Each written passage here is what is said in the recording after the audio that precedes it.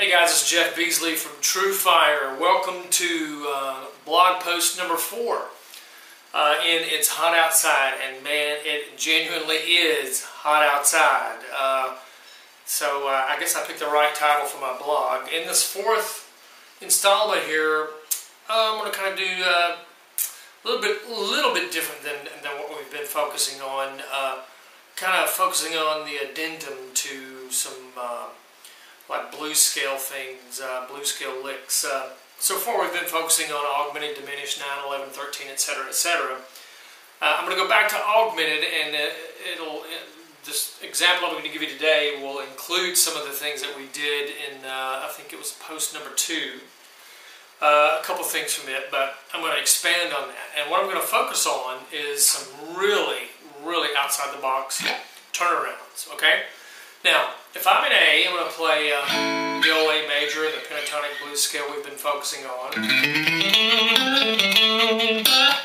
Now, a very common turnaround, uh, there's many of them, but one of the most common ones I, I, I, initially learned way back in the day was this one where it's a 1, uh, major third, 4, flat 5, and then the perfect fifth. Okay, so it gives me the old... Now, uh, I thought that was the coolest thing in the world when I initially learned it. Um, I still like it, but uh, uh, I kind of wanted to put my own little twist on that uh, very common blues turnaround. Notice it leads us from 1 to 5. Right? Now, what I did was I took the 1 and I added the third, melodically speaking. I went 1, 3, 1. Then I went to the 3, which would be the next note in the, the turnaround, and I did a tritone. Okay, so I've got... Now to the 4, I'll do a major third. To the flat 5, I'll do another tritone. And then when I get to the 5, I'm going to launch into something augmented here in a moment. But so I've got your, your typical 12-bar uh, turnaround.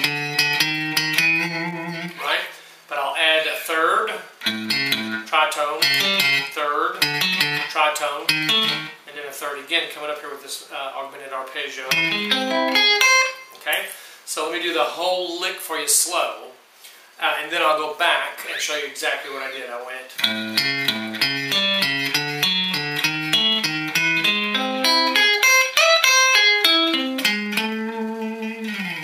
Okay, so uh, uh really kind of a outside of the box type of a turnaround there.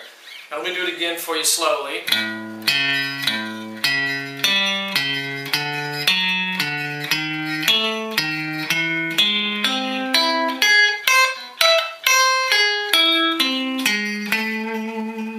ended up on the root again, A. So I'm having to, you know, I'm stretching out a bit from that initial augmented arpeggio that we learned, I think, in the second blog to a uh, another one resolving back up to the A. So that one stretches you out a little bit more, uh, that uh, other version of the augmented arpeggio. And it's a little more challenging, you know, from a technical standpoint, a little bit, but it's really got that outside the box sound, and I really enjoy incorporating that uh, into my blues turnarounds, my 12 bar blues turnarounds. Now, let me show you another one. I'll take the same little turnaround, and play the first note open the first A instead of playing it here on the sixth string at the fifth fret.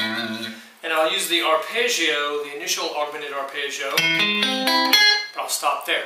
Okay? So I'm going to go one, major third, perfect fourth, diminished fifth or flat fifth, to the five, and I'll launch into the uh, augmented arpeggio, ascending and descending. Watch this.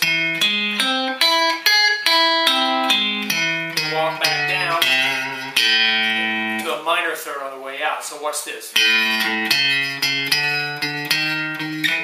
it again.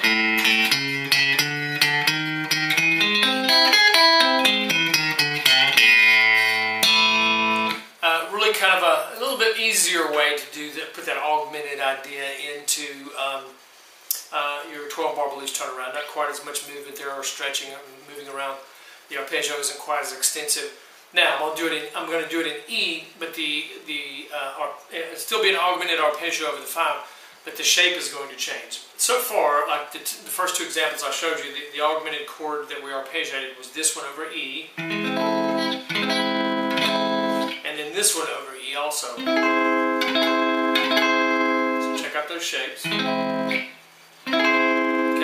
now this one I'm going to do in E. What's this, fellas? Same idea.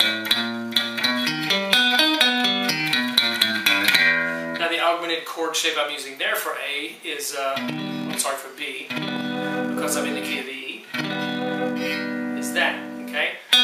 Top note, add uh, a major third above it, descend, typical blues line out, so that gives me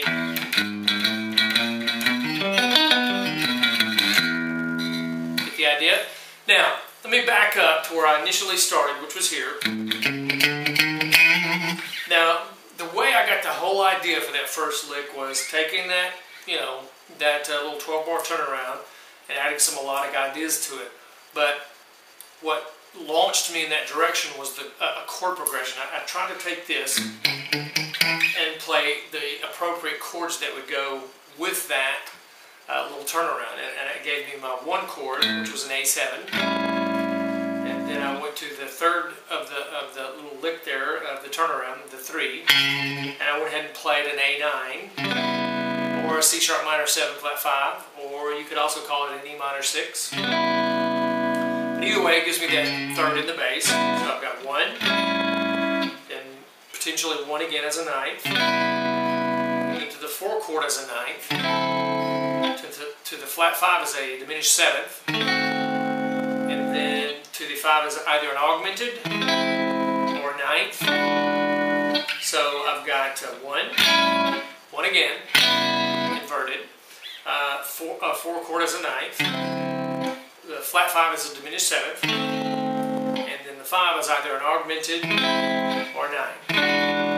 Okay, so that's where I got the idea to do the third tritone, third tritone, third again. Okay, and that eventually launched me into those uh, extended augmented arpeggios that I'm using for that turnaround. Okay, hope you like that. Uh, most of my students back home love that stuff, so back here at home. So I'm hoping you do too. And uh, thanks for watching my fourth installment here of um, It's Hot Outside. And uh, I'm enjoying uh, doing the blog. I will admit it's a little bit too hot, literally, outside. Uh, hopefully it'll cool down soon, uh, but the licks uh, in this blog uh, will not cool down, okay? So now my next post will be my last blog, the fifth one in, this particular series. And I'm really going to jump pretty, pretty far outside the box, pretty good ways, further than I've jumped so far, okay? So hang in there, uh, get these under your belt, and I will see you next blog. Thank you.